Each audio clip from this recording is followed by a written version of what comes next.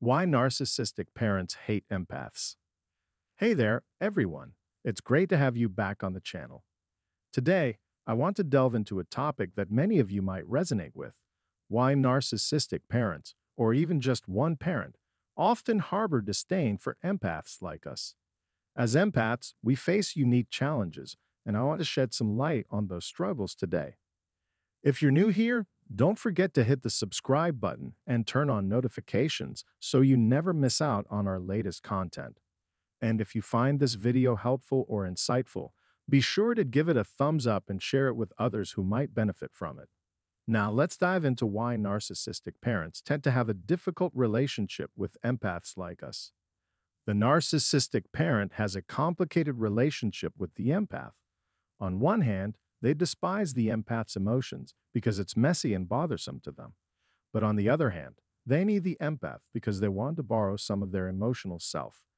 They're attracted to the empath's ability to feel because narcissists themselves struggle with emotional interactions. They don't know how to express genuine emotions, so they observe and copy others. For example, at a funeral, they might say the right things not because they genuinely feel or believe them, but because they've seen others do it and they mimic that behavior. It's not coming from an authentic place within them. It's just a learned response to fit in socially. Narcissists feel jealous of empaths for several reasons. One biggie is that empaths are more at ease with their emotions, while narcissists struggle with this big time. They have a limited range of genuine feelings, and often they're not in touch with deeper stuff like shame. Compared to them, we empaths might seem like easy targets for manipulation. The narcissist sees us as weak because, in their twisted view, being in touch with our feelings equals being weak. It's like their golden rule. If you're all about feelings, you're weak sauce unless you're making a big drama out of it. Then somehow that's fine. But for the rest of us who feel deeply, it's always, why are you so sensitive? Well, maybe because their behavior is seriously not cool. As empaths, we tend to wear our hearts on our sleeves and sometimes our emotions steer the ship instead of just riding shotgun. But growing up in a toxic, narcissistic family messes with that balance. We end up letting our feelings drive the car more often than they should, blending our emotions with our thoughts. That's not ideal because real maturity means separating feelings and thoughts so we can think clearly and feel deeply without them constantly crashing into each other. As empaths, we're not down for being under the thumb of a narcissistic parent. We feel that control and manipulation, and it's like, no thanks. But breaking free isn't easy. We're all about setting boundaries, but actually doing it? That's tough. Another reason narcissistic parents can't stand empaths is because we bring on this cycle of conflict. We empathizers are all about helping, but the narcissist is all about control.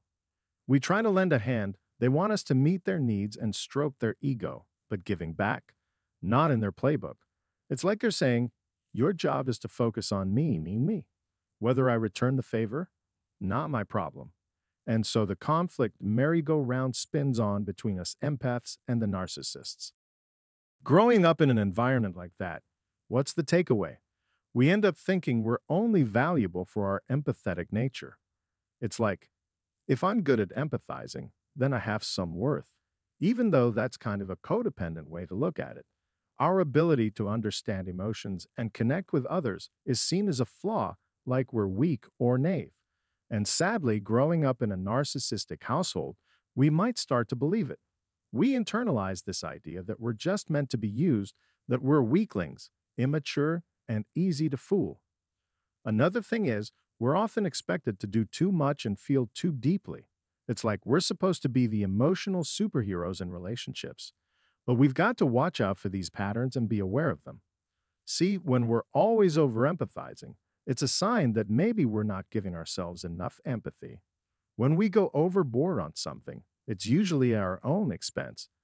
Take falling in love, for example. If we're head over heels for someone who doesn't feel the same, we end up giving more love than we receive. And guess who's left feeling empty Yup, us. So when we overextend ourselves, we're taking away from our own well being. That's where internal boundaries come in.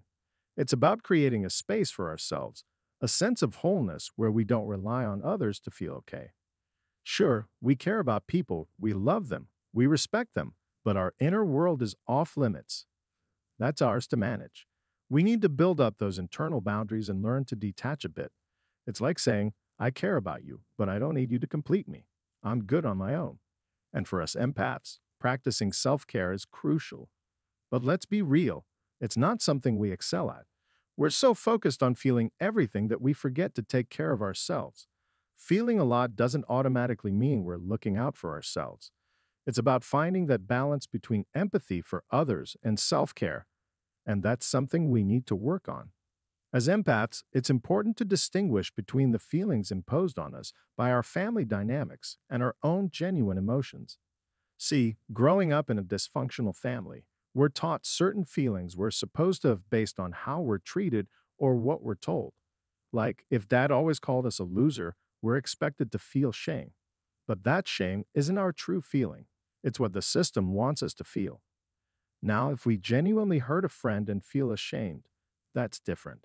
That's a healthy response to our actions. But when our feelings are manipulated by someone else's words or actions, that's the system's doing. It's like we're programmed to feel a certain way based on what others say or do to us. So, what can we do about it? We need to recognize these system induced feelings and work on changing them. We can't let our emotions be controlled by someone else's narrative. If you found this helpful, be sure to like and subscribe to the channel. And if you're really interested in diving deeper, check out the online program linked in the description below. Thanks for tuning in today. Take care and stay mindful.